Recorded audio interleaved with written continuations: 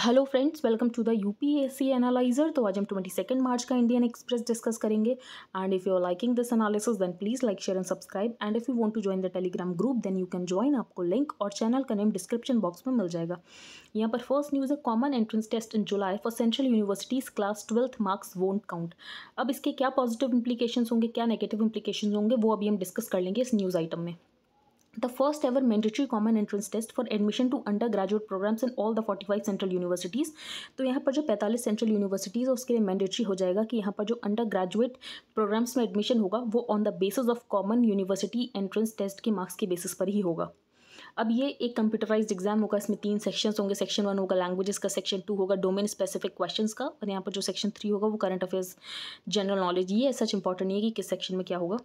Admission to undergraduate courses in those university will henceforth be solely based on the CUET score. तो यहाँ पर जो common entrance test होगा, उसके basis पे ही यहाँ पर एडमिशन होगा और ट्वेल्थ के मार्क्स यहाँ पर कंसिडर नहीं किए जाएँगे। एट मैक्स जो ट्वेल्थ के मार्क्स है, वो सिर्फ़ एलिजिबिलिटी क्राइटेरिया बन सकते हैं कि फॉर एग्जांपल आपके सिक्सटी परसेंट होने चाहिए, तभी आप इस एग्ज़ाम में बैठ सकते हो। इससे ज़्यादा ट्वेल्थ के मार्क्स की कोई इंपॉर्टेंस नहीं होगी। अब ये चेंज करने की ज़रूरत ही क्यों पड़ी कि पहले इससे तो बहुत टाइम पहले से चल रहा है कि यहाँ पर जो ट्वेल्थ के मार्क्स होते हैं, उनके बेसिस पे यहाँ पर कट ऑफ़ डिसाइड किया जाता था। अब ऐसा इसीलिए करना पड़ा क्योंकि इस बार जो दिल्ली यूनिवर्सिटी के कॉलेजेस थे, उनमें कम से कम दस ऐसे प्रोग्राम्स थे जिनके लिए कट ऑफ़ हंड्रेड परसेंट थी। एक तो ये प्रॉब्लम है कि हंड्रेड परसेंट तक कट ऑफ़ जा रही हैं। और दूसरी बात यह है कि कुछ बोर्ड्स में बहुत ज़्यादा लीनियंसी में मार्किंग होती है कुछ बोर्ड्स में टफ मार्किंग होती है तो जिसका मतलब ये है कि डाइवर्सिटी इन एवेल्युएशन है। तो ना चाहते हुए यहाँ पर डिस्क्रिमिनेशन होता है जो कि हमें दिखता नहीं है और यहाँ पर कुछ ए, कुछ बोर्ड्स होते हैं जिनके स्टूडेंट्स को यहाँ पर अनफेयर एडवांटेज मिल जाता है। तो the government did not favour using board marks for admission because of the diversity in evaluation methods कुछ बोर्ड्स होते हैं बहुत ज़्यादा जनरस होते हैं देन अदर्स इन मार्किंग और जिसकी वजह से कुछ स्टूडेंट्स को यहाँ पर अनफेयर एडवांटेज मिल जाता है। तो एक लेवल प्लेइंग फ़ील्ड होने के लिए भी ये सी यू ई टी बहुत ज़्यादा इंपॉर्टेंट था। तो following the C U E T each university will admit students based on a merit list prepare by the N T A और यहाँ पर कुछ नेम्स दिए गए हैं सेंट्रल यूनिवर्सिटी के, जैसे कि Jawaharlal Nehru university Jamia Millia Islamia Indira Gandhi national open university ये नेम एज सच हमारे लिए इंपॉर्टेंट नहीं है। अब यहाँ पर मिक्सड रिस्पॉन्स क्या है वो भी हम डिस्कस कर लेते हैं कि इसके नेगेटिव इंप्लीकेशंस क्या हैं और इसके पॉजिटिव इंप्लीकेशंस क्या होने वाले हैं। जो यहाँ पर कट ऑफ़ के ट्वेल्थ के मार्क्स के बेसिस पे कट ऑफ़ डिसाइड किया जाता था बहुत टाइम पहले से ये काम चल रहा है, लेकिन कभी भी कट ऑफ़ ऐसे हंड्रेड परसेंट नहीं जाते थे, लेकिन अब कट ऑफ़ हंड्रेड परसेंट तक जा रहे हैं। अब यहाँ पर जिस स्टूडेंट के हंड्रेड परसेंट और यहाँ पर दूसरे स्टूडेंट के नाइन्टी नाइन परसेंट है तो एज सच उनके इंटेलिजेंस में कोई ज़्यादा डिफरेंस नहीं है। लेकिन हम यहाँ देख रहे हैं, जो नाइन्टी नाइन परसेंट वाला स्टूडेंट है, वो यहाँ पर एडमिशन नहीं ले सकता और जिसकी वजह से यहाँ पर स्टूडेंट्स के ऊपर बहुत ज़्यादा अनड्यू प्रेशर पड़ता था। ये जो एग्ज़ाम है, ये यहाँ पर थर्टीन लैंग्वेजेस में कंडक्ट किया जाएगा, जिसकी वजह से यहाँ पर सारे ही स्टूडेंट्स इसके लिए एलिजिबल होंगे। अगर वो किसी भी यहाँ पर रीजनल लैंग्वेजेस जानते हो तो offered in thirteen languages namely Hindi, Marathi, Gujarati, Tamil, Telugu, Kannada, Malayalam, Urdu Assamese Bengali, Punjabi, Odia and English mixed response ये मैंने आपको बता दिया कि सारे रीजनल लैंग्वेजेस इसका मतलब ये है कि nobody gets left behind ये भी मैंने आपको बता दिया कि अब हंड्रेड परसेंट जो कट ऑफ़ जाता है, जिसकी वजह से बहुत ज़्यादा कट थ्रोट कॉम्पिटिशन हो रहा है डाइवर्सिटी इन एवेलुएशन प्रोसेस जिसकी वजह से ऐसे किसी सिस्टम की ज़रूरत थी और यहाँ पर ट्वेल्थ के मार्क्स की बेसिस पे एडमिशन देना यहाँ पर ख़त्म करने की ज़रूरत थी। अब इसका एक नेगेटिव इम्प्लीकेशन ये है कि अब कोचिंग इंडस्ट्री शुरू हो जाएगी इस एग्ज़ाम को लेकर भी। जैसे कि आपको सबके लिए मिलती है यूपीएससी के लिए मिलती है जेई के लिए मिलती है नीट के लिए मिलती है। अब इन एग्ज़ाम्स के लिए भी यहाँ पर एक कोचिंग इंडस्ट्री शुरू हो जाएगी। तो if university stop giving any weightage to board exams the culture of pushing children to the tuition and coaching centres at the cost of school will bloom rapidly तो ये एक हमें यहाँ पर नेगेटिव इंप्लीकेशन देखने को मिलेगा। इसके अलावा जो स्कूल की इंपॉर्टेंस है वो कम हो जाएगी क्योंकि जो बच्चे हैं वो स्कूल के ऊपर यहाँ पर फोकस करना बंद कर देंगे। स्कूल में सिर्फ़ आप यहाँ पर एकेडमिक्स नहीं सीखते हो, उसके अलावा भी आप बहुत सारी ऐसी स्किल्स सीखते हो सोशल स्किल्स सीखते हो, इसीलिए स्कूल जाना बहुत ज़्यादा इंपॉर्टेंट होता है स्कूल की इंपॉर्टेंस बहुत ज़्यादा होती है as compare to coachings and tuitions अब हम आगे चलते हैं। सेकेंड न्यूज़ है Australia slams Russia says understand India's position अब यहाँ पर ऑस्ट्रेलिया और जापान के स्टैंड में आपको समझ आ रहा होगा कि जापान हमसे चाहता था कि हम यहाँ पर रशिया को कंडेम करें। लेकिन ऑस्ट्रेलिया ये नहीं चाहता। ऑस्ट्रेलिया यहाँ पर रशिया को कंडेम कर रहा है, लेकिन ऑस्ट्रेलिया ये समझते हैं कि इंडिया जो है इंडिया अपने इंटरेस्ट के अकॉर्डिंग यहाँ पर कोई भी डिसीज़न लेगा तो इंडिया अपने इंटरेस्ट के अकॉर्डिंग लेगा। तो यहाँ पर ऑस्ट्रेलिया ने कंडेम किया रशिया के unlawful invasion of Ukraine While Modi, in his public remarks, did not say anything on the situation in Ukraine, Foreign Secretary Harshvardhan Shringla later said Morrison expressed his understanding of India's position. position तो हमारी जो position है तो वो इस बात को समझता है ऑस्ट्रेलिया की हमारी position ऐसी क्यों है and that he and Modi were of the opinion कि अगर कोई भी कन्फ्लिक्ट चल रहा है वेस्टर्न में, इसका मतलब ये नहीं कि इंडो पैसिफिक में हम लोग यहाँ पर साथ में कोलैबोरेट नहीं करेंगे। तो इंडो पैसिफिक की इंपॉर्टेंस अभी भी उतनी ही है और सारे ही कंट्रीज़ यहाँ पर कोलैबोरेट करेंगे जो कि यहाँ पर कोड के कंट्रीज़ है। इसके अलावा जो यहाँ पर L A C line of actual control in eastern Ladakh वहाँ पर पीस और ट्रैंक्विलिटी बहुत ज़्यादा इंपॉर्टेंट है। उसके बाद ही यहाँ पर जो बायोलेट्रल टाइज हैं बिटवीन इंडिया एंड चाइना वो यहाँ पर रिवाइव हो सकते हैं। तो सबसे ज़्यादा उसके लिए प्री रिक्वेजिट ये है कि यहाँ पर जो लाइन ऑफ़ एक्चुअल कंट्रोल है, वहाँ पर पीस और ट्रैंकुलिटी का एस्टैब्लिश होना इसका मतलब ये है कि यहाँ पर जो चाइना के फोर्सेज हैं, उनको यहाँ पर पीछे हटना पड़ेगा। आपको इंडिया और ऑस्ट्रेलिया के टाइस के लिए यहाँ पर बहुत सारे पॉइंट्स मिल जाएँगे। तो यहाँ पर एग्रीमेंट्स कौन कौन से हुए establishment of general Rawat India Australia young defence officers exchange programme tax benefits दिया जाएगा अगर कोई यहाँ पर Australia sovereign pension funds India में इन्वेस्ट करता है तो जो उनको ऑस्ट्रेलिया में बेनिफिट्स मिलते हैं सेम उनको इंडिया में भी मिलेंगे। तो simple tax benefits for investment वही Australia sovereign pension funds in India as in Australia इसके अलावा यहाँ पर मेमोरेंडम ऑफ़ अंडरस्टैंडिंग साइन किया गया और ऑस्ट्रेलियन क्रिटिकल मिनरल्स प्रोजेक्ट क्योंकि यहाँ पर ऑस्ट्रेलिया के पास लिथियम रिजर्व्स बहुत ज़्यादा हैं, जो कि वो हमें यहाँ पर एक्सपोर्ट कर सकता है और उसकी वजह से हमारी जो इलेक्ट्रिक व्हीकल की इंडस्ट्री उसको एक पुश मिल सकता है।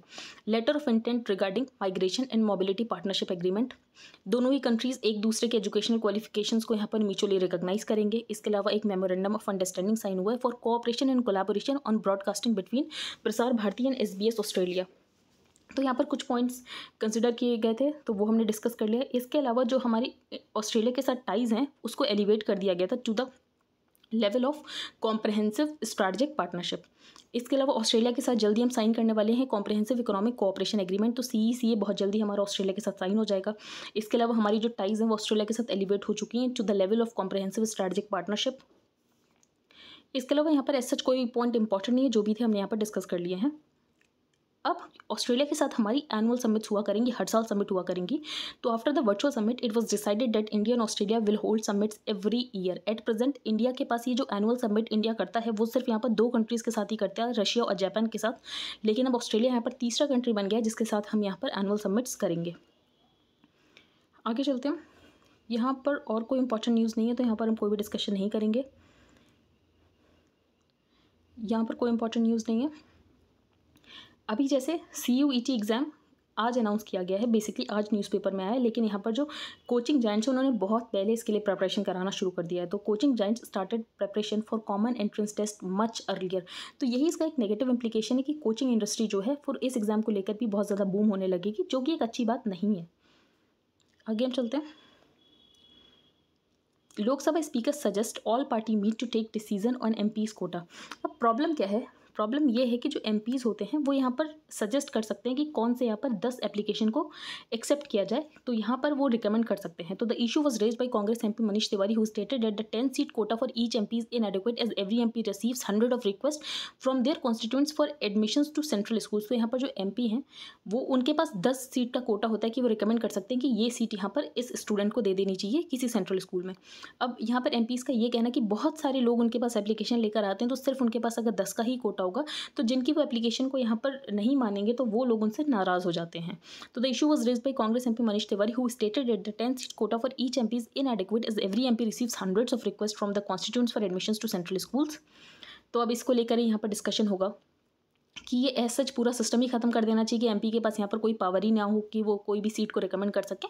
या तो यहाँ पर जो कोटा है वो दस से बढ़ाकर सौ या दो सौ कर देना चाहिए। तो with the M is coming under pressure for admission in Kendriya Vidyalaya speaker Om Birla Monday suggested that there could be an all party meeting to decide whether the privilege for the people's representative for recommending the admission should be done up with और increase यहाँ पर और कोई important news नहीं है। Australia return twenty nine antiquities to India तो ये जो आर्टिफैक्ट्स हैं इन्होंने रिटर्न कर दिए हैं। यहाँ पर ऐसा कुछ इंपॉर्टेंट नहीं है, क्योंकि यहाँ पर कोई एक नाम मेंशन है, बस यहाँ पर Kangra style painting of Shiva and Parvati जो कि एटीन थर्टी फोर्टी के टाइम की है। आगे चलते हैं। Most farmer unions backed farm laws आपको पता होगा कि एससी ने एक पैनल बनाया था रिगार्डिंग फॉर्म लॉस उसकी रिपोर्ट अब यहाँ पर रखी गई है। अब उस रिपोर्ट में एससी पैनल ने यहाँ पर सपोर्ट किया है कि फार्म बिल्स को होना चाहिए और यहाँ पर बहुत सारी फार्मर ऑर्गेनाइजेशन है जो कि इन फार्म बिल्स को यहाँ पर प्रपोज कर रही है, एक्सेप्ट कर रही है। तो months before the central repeal the three controversial farm laws of supreme court appointed committee had recommended against their withdrawal underlining that a majority farm union support them and a repeal और a long suspension would be unfair to the silent majority तो यहाँ पर to third ऐसे farmers हैं जो कि इस bill को एक्सेप्ट करें और यहाँ पर सिर्फ़ वन थर्ड ही ऐसे फार्मर्स थे जो कि इसके अगेंस्ट प्रोटेस्ट कर रहे थे। तो हमें प्रोटेस्ट वाले तो फार्मर्स देखे, लेकिन जो उसको एक्सेप्ट कर रहे हैं बेसिक बेसिकली उन्होंने सामने आकर ये नहीं बोला कि हम इसको एक्सेप्ट कर रहे हैं। अल्टीमेटली हमने देखा कि ये जो फार्मर लॉज है वो यहाँ पर रिपील हो गए। तो citing the feedback received by the committee, the report states the bilateral interactions of the committee with the stakeholders demonstrated that only 13.3 percent of the stakeholders were not in favour और यहाँ पर जो 85.7 percent farmer organisation थे लगभग तीन से साढ़े तीन करोड़ के फार्मर्स जो कि इस बिल को यहाँ पर सपोर्ट कर रहे थे। इसके अलावा कमेटी की कुछ और रिकमेंडेशन है कि जो एमएसपी पॉलिसी है, उसको रिविजिट करने की ज़रूरत है, जो यहाँ पर ओपन एंडेड प्रोक्योरमेंट है, उसका डिसकंटिन्यूएशन हो जाना चाहिए, क्योंकि सेंटर के पास यहाँ पर जो एफ़ सी है, उसके पास बहुत ज़्यादा बफर स्टॉक्स है। तो बफर स्टॉक्स की जितनी लिमिट होनी चाहिए, उससे भी दो या तीन गुना ज़्यादा है तो इसीलिए यहाँ पर जो ओपन एंडेड प्रोक्योरमेंट पॉलिसी है, वो यहाँ पर डिसकंटिन्यू होनी चाहिए। इसके अलावा कमेटी ने रिकमेंड किया है, जो एमएसपी है, वो यहाँ पर प्रोरेगेटिव बना देना चाहिए of the states the committee felt that instead of a blanket procurement of wheat और पैडी यहाँ पर एफसीआई को एक कैप लगा देना चाहिए कि हम इतना ही प्रोकर करेंगे। बाकी यहाँ पर क्रॉप्स में डाइवर्सिफिकेशन की ज़रूरत है। फॉर एग्जांपल पंजाब, हरियाणा में सिर्फ़ यहाँ पर वीट और पैडी लगाया जाता है तो यहाँ पर डाइवर्सिफिकेशन की ज़रूरत है, क्योंकि वीट पैडी लगाने की वजह से यहाँ पर बहुत ज़्यादा प्रॉब्लम्स हो रही हैं। Tamil Nadu passes resolution against Karnataka's move to build dam अब यहाँ पर मेक मेघदातु प्रोजेक्ट है, जो कि यहाँ पर कर्नाटका बिल्ड करना चाहता है, लेकिन तमिलनाडु इसके अगेंस्ट में है। कौन से रिवर के ऊपर बिल्ड किया जा रहा है? तो कावेरी रिवर इसके अलावा इसमें कुछ ज़्यादा इंपॉर्टेंट न्यूज़ है नहीं तो अब यहाँ पर हम कुछ डिस्कस नहीं करेंगे। Ladakh plan to save its wolves stupas and insurance तो पहले हम यहाँ पर दो टाइप के वोल्फ वोल्फ देख लेते हैं। एक है तिब्बतन वोल्फ और एक है इंडियन वोल्फ दोनों ही यहाँ पर क्रिटिकली इंडेंजर्ड है तो out of thirty two subspecies of wolves that are recognise to or believe to inhabit the Indian subcontinent तो इंडियन सब कॉन्टिनेंट में सिर्फ़ दो ही सब स्पीशीज पाई जाती हैं वोल्फ की. पहला है तिब्बतन वोल्फ जिसकी रेंज है from the trans Himalaya into Tibet and China and the Indian wolf that ranges over peninsular India अब यहाँ पर लद्दाख में वोल्फ की प्रॉब्लम बहुत ज़्यादा है। वोल्फ क्या करते हैं? लाइव स्टॉक्स को यहाँ पर मार देते हैं। तो जिसकी वजह से इनका एक प्रैक्टिस है शेंगडोंग की। अब शेंगडोंग क्या होता है? एक ट्रेडिशनल ट्रैपिंग पिट्स होता है, जिसमें यहाँ पर एक लाइव डोमेस्टिक एनिमल को रखा जाता है, जिसकी वजह से वोल्फ वहाँ पर आता है और यहाँ पर वोल्फ को ट्रैप कर लिया जाता है वोल्फ यहाँ पर मार दिया जाता है। तो once the wolf jump into the pit, the wolf present them from skipping, the trapped wolfs are usually stoned to death. बाकी ये हमने देख लिया, जो तिब्बतन वोल्फ है, वो वर्ल्ड की मोस्ट टेंशन स्पीसीज़ है और क्रिटिकली इंडेंजर्ड है और शेड्यूल वन में आती है अंडर द डब्ल्यू एक्ट तो यहाँ पर क्रिटिकली इंडेंजर्ड है शेड्यूल वन में आती है of the W act this help us understand the intention behind killing wolves was purely to protect livestock क्योंकि ये जो वोल्स हैं, ये लोग बेसिकली पैक में अटैक करते हैं, जिसकी वजह से ये लोग कभी कभी यॉक को भी मार देते हैं। अब जो यॉक होता है, उसकी एक की कॉस्ट लगभग साठ हज़ार से अस्सी हज़ार होती है, जितना नुकसान हो जाता है। लेकिन यहाँ पर जो सरकार है, वो सिर्फ़ सात से आठ हज़ार रुपये कॉम्पनसेशन देती है तो यही सारी प्रॉब्लम है। तो wildlife department provides compensation for loss of livestock due to wolves but not more than rupees seven thousand to eight thousand आगे चलते हैं। Entrance test for central universities how हुआ है ये हमने डिस्कस कर लिया सेम ही पॉइंट्स हैं। On Monday the University Grants Commission announce that introduction of the C U E T central university entrance test जो कि मैंडेटरी कर दिया जाएगा पैंतालीस सेंट्रल यूनिवर्सिटीज़ के लिए। इससे पहले भी एक ऐसा एग्ज़ाम था, लेकिन ज़्यादातर यूनिवर्सिटीज़ ने इसको यहाँ पर अडॉप्ट नहीं किया था, जो कि नहीं अडॉप्ट किया था, उसके बाद इसको हटा दिया गया था।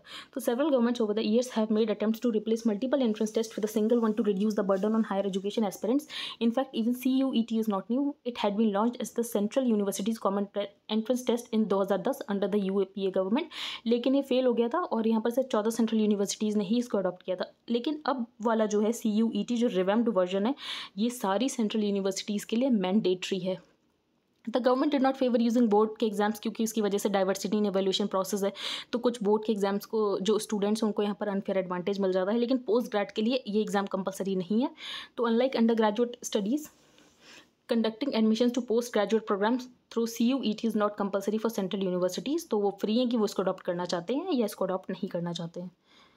जो प्राइवेट यूनिवर्सिटीज़ है, वो अगर अडॉप्ट करना चाहते हैं तो कर सकते हैं, अगर नहीं करना चाहते हैं तो नहीं कर सकते तो at this moment C U which is compulsory for central university but the government is open to other institution including private universities adopting this examination instead of conducting their own तो जिसको यहाँ पर अडॉप्ट करना है, कर सकता है, सिर्फ़ यहाँ पर सेंट्रल यूनिवर्सिटीज़ के लिए ही ये एग्ज़ाम मैंडेटरी है। ये हम बिल्कुल डिस्कस नहीं करेंगे out of favour with army analyse why Imran future as P M looks uncertain तो इनके अगेंस्ट यहाँ पर नो कॉन्फिडेंस मोशन पास होने वाला है। तो ये हम डिस्कस नहीं करेंगे, हम आगे चलते हैं। द पैंडमिक पजल, इसमें ये जो डेटा यूज़ किया गया है, वो यूज़ किया गया है consumer pyramids household survey का। तो एज सच इस डेटा को आप कोड करके मीन्स में लिखोगे तो आई डोंट थिंक कि आपको ज़्यादा पॉइंट्स कुछ मिलने वाले हैं तो एज सच हम इस आर्टिकल को डिस्कस नहीं करेंगे। ये आर्टिकल भी हम डिस्कस नहीं करेंगे क्वेश्चन फॉर द कोर्ट हम ये आर्टिकल डिस्कस करेंगे Washington in South Asia On the external front, Russia's Ukraine war and the Sino-Russian alliance are setting the stage for a reordering of South Asia's great power relations. अब Russia Ukraine war हो रही है दूसरी बात हम देख रहे हैं कि यहाँ पर चाइना और रशिया के जो अलायंस है वो बहुत ज़्यादा स्ट्रॉन्ग हो रहा है। अब इसकी वजह से साउथ एशिया में पावर रिलेशंस कैसे चेंज होंगे वो अभी हम डिस्कस करेंगे। इसके बाद ये जो तीन पैराग्राफ्स है इसमें सिर्फ़ यहाँ पर पाकिस्तान के बारे में बताया गया कि पाकिस्तान में क्या चल रहा है। For decades Pakistan dominated American mind space in the subcontinent तो यहाँ पर जो ऊपर के तीन पैराग्राफ्स थे, उसमें यही बताया गया कि पाकिस्तान ने कैसे डोमिनेट किया था American mind space in the subcontinent इसके अलावा, Islamabad decline after the US withdrawal from Afghanistan. तो अफ़गानिस्तान से जैसे यूएस ने विड्रॉ कर दिया तो अब यहाँ पर यूएस को अब इस्लामाबाद की ज़रूरत ही नहीं है। यूएस को पाकिस्तान की ज़रूरत ही नहीं है। तो with an economy that is smaller than that of Bangladesh इसके अलावा पाकिस्तान खुद को प्रूव भी नहीं कर पा रहा। पाकिस्तान की इकॉनमी एकदम क्योस में है। जो पाकिस्तान की इकॉनमी वो बांग्लादेश से भी छोटी है। इसके अलावा ऐसा कुछ लग भी नहीं रहा कि आने वाले सालों में यहाँ पर जो पाकिस्तान की इकॉनमी वो आगे बढ़ने वाली है तो Pakistan will find its hard to match its traditional claim for strategic parity with India अब यहाँ पर जो पाकिस्तान है, वो ये चाहता है कि जैसे इंडिया के साथ डील करते हैं, अमेरिका वाले, वैसे ही सिमिलर तरीके से यहाँ पर पाकिस्तान को भी समझा जाए। लेकिन ऐसा पॉसिबल नहीं है क्योंकि यहाँ पर इंडिया बहुत इंपॉर्टेंट इंडिया एक बहुत बड़ा मार्केट है, जो कि यहाँ पर पाकिस्तान की इकॉनमी भी ये सारी चीज़ें यहाँ पर इंश्योर नहीं करवा पा रही है। The focus on the economic brings us to the second regional trend अब दूसरा रीजनल ट्रेंड ये है जो चाइना का बेल्ट और रोड इनिशिएटिव है, उसका चार्म डिक्लाइन हो रहा है। वो क्यों डिक्लाइन हो रहा है? क्योंकि यहाँ पर इन्होंने अपना बेल्ट और रोड इनिशिएटिव शुरू किया था श्रीलंका में। दूसरा इन्होंने शुरू किया था पाकिस्तान में। और दोनों की ही हम देख रहे हैं, इकॉनमी कहाँ पर जा रही है, पाकिस्तान और श्रीलंका की। Pakistan and Sri Lanka, which embrace the BRI with great gusto, are South Asia's two worst performing economies. The deepening economic crisis are compelling the elites of the Pakistan and Sri Lanka कि वो यहाँ पर non Chinese financial sources के ऊपर यहाँ पर focus करें अपनी इकॉनमीज़ को स्टेबलाइज करने के लिए। फॉर एग्ज़ाम्पल यहाँ पर पाकिस्तान क्या कर रहा है तो वो पाकिस्तान बार बार जाके आई से लोन ले रहा है और यहाँ पर श्रीलंका क्या कर रहा है? श्रीलंका इंडिया से यहाँ पर लोन ले रहा है।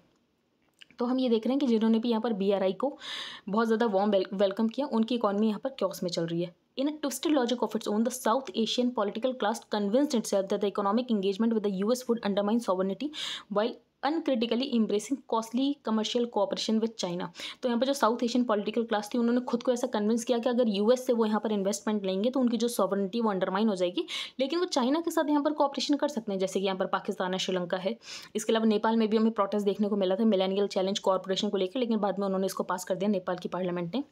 Third is a growing possibility for US security cooperation with the subcontinent cold war के टाइम जो यूएस की मिलिट्री इंगेजमेंट थी, वो सिर्फ़ यहाँ पर पाकिस्तान तक ही सीमित थी।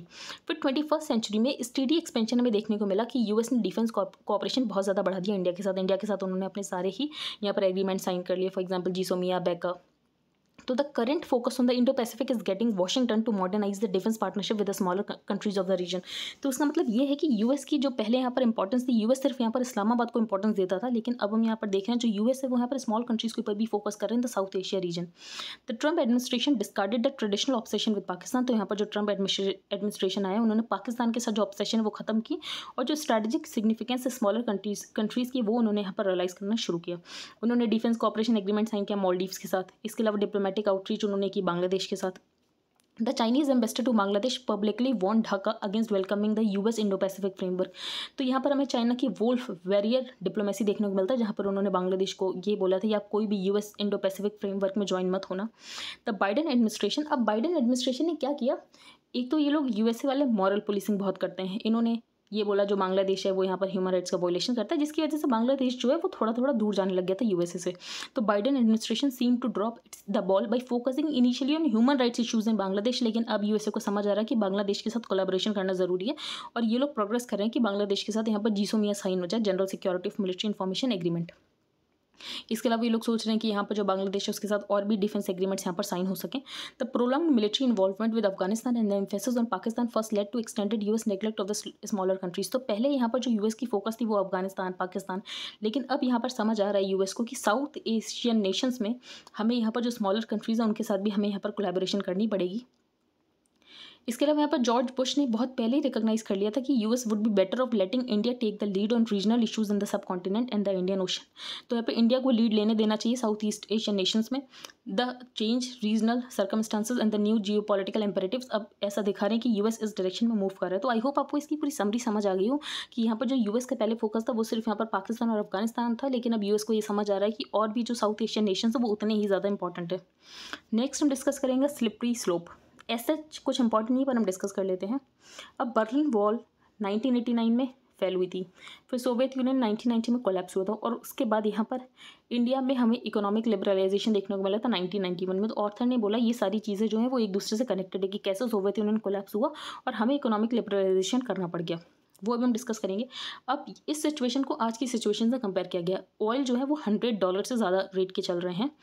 ब्रेंट क्रूड है, जो हंड्रेड डॉलर से ऊपर का चल रहा है पर बैरल अब गवर्नमेंट को लगभग इम्पोर्ट करने के लिए लगभग ट्वाइस ज़्यादा खर्च करना पड़ेगा एज़ कंपेयर टू इससे पहले जो खर्च करते थे। It can't pass on these high oil cost तो ये जो कॉस्ट है वो पास ऑन नहीं कर सकते, नहीं तो उसकी वजह से इन्फ्लेशन बहुत ज़्यादा आ जाएगा इंडियन इकॉनमी में। तो इन्फ्लेशन को काउंटर करने के लिए ज़रूरी है कि गवर्नमेंट जो है वो इतना ज़्यादा महँगा तेल जो है इंडियन मार्केट में नहीं बेच सकती है। तो अब क्या किया जा सकता है? अगर हम नाइनटीन में देखें तो आईएमएफ ने हमें बोला था कि बीओपी क्राइसिस से हम आपको बाहर निकाल लेंगे लेकिन आपको अपनी इकॉनमी को लिबरलाइज करना पड़ेगा। तो एलपीजी रिफॉर्म्स आपको करने पड़ेंगे लिबरलाइज करना पड़ेगा प्राइवेटाइज करना पड़ेगा ग्लोबलाइज करना पड़ेगा। उसके बाद सोवियत यूनियन कोलैप्स हो चुका था तो इसका मतलब ये था कि अब हम इकोनॉमिक प्लानिंग के ऊपर भी हमें ज़्यादा यहाँ पर जाने की ज़रूरत नहीं थी और यहाँ पर जो अमेरिका का मॉडल है, वो यहाँ पर हमने एक्सेप्ट करना शुरू कर दिया। तो American version of a market economy हम उसकी तरफ़ बढ़ने लग गए। अब इस सिचुएशन को आज की सिचुएशन से कंपेयर किया गया है। Whenever global crude oil prices have risen above hundred dollar in the past तो सौ डॉलर से ज़्यादा ग्लोबल क्रूड ऑयल प्राइसेज चल रहे हैं तो उसका मतलब ये है कि हमें डबल ऑफ़ द मनी खर्च करना पड़ेगा इंपोर्ट करने के लिए। तो हम इसको कैसे काउंटर कर सकते हैं? तो बेसिकली हमें अपने एक्सपोर्ट्स बढ़ाने पड़ेंगे और एक्सपोर्ट्स बढ़ाना बहुत इंपॉर्टेंट है, लेकिन एक्सपोर्ट्स बढ़ाने में हमें प्रॉब्लम आ सकती है अगर हम ये ऑयल रशिया से खरीदेंगे। तो the US is India's biggest export market और अगर हम यहाँ पर रशिया से ऑयल खरीदेंगे तो यूएस हमारे ऊपर सेकेंडरी सेंक्शंस लगा सकता है। तो the US was already question India about abetting Russia by buying Russian oil. It remains to be seen if the US will impose secondary sanctions. और अगर यूएस हमारे ऊपर सेकेंडरी सेंक्शंस लगा देता तो बेसिकली हम एक्सपोर्ट नहीं कर पाएँगे यूएस को। और दूसरी बात, अगर हम यहाँ पर रशिया के साथ रूबल में ट्रेड करेंगे तो चाइना भी हमसे ये एक्सपेक्ट करेगा कि जो चाइना के साथ जो ट्रेड हो रहा है, वो भी युवान में हो। सऊदी अरेबिया भी ये कोशिश करेगा कि सऊदी अरेबिया की करेंसी में ही यहाँ पर ट्रेड हो। तो उसकी वजह से हम देखेंगे कि यूएस के डॉलर की इंपॉर्टेंस कम हो रही। तो अगर यूएस के डॉलर की इंपॉर्टेंस कम होगी तो यूएस को इस बात से फ़र्क पड़ेगा और यूएस बेसिकली सेंक्शंस लगाने की और ज़्यादा कोशिश करेगा। तो अगर डी डॉलराइजेशन होगा तो इसकी वजह से जो यूएस है वो और ज़्यादा एंटागोनाइज हो जाएगा। तो यही सारी चीज़ें इसमें बताई गई हैं कि इसके क्या पॉजिटिव इंपैक्ट हो सकते हैं और क्या नेगेटिव इंपैक्ट हो सकते हैं। अब यूक्रेन रशिया क्राइसिस की वजह से हमें कुछ तो फ़ायदा मिल रहा है, जैसे कि हमारे वीट एक्सपोर्ट्स बढ़ रहे हैं, लेकिन उसका फ़ायदा बहुत कम है एज़ कंपेयर टू हमें कितना नुकसान हो सकता है उससे। आगे हम चलते हैं। इस पेज पर कोई इंपॉर्टेंट न्यूज़ नहीं है। चाइना में बोइंग जो है वो क्रैश हो गया है। Ukraine rejects Russian call for surrender in Mariupol तो अभी तक यूक्रेन ने सरेंडर नहीं किया मेरियोपोल में।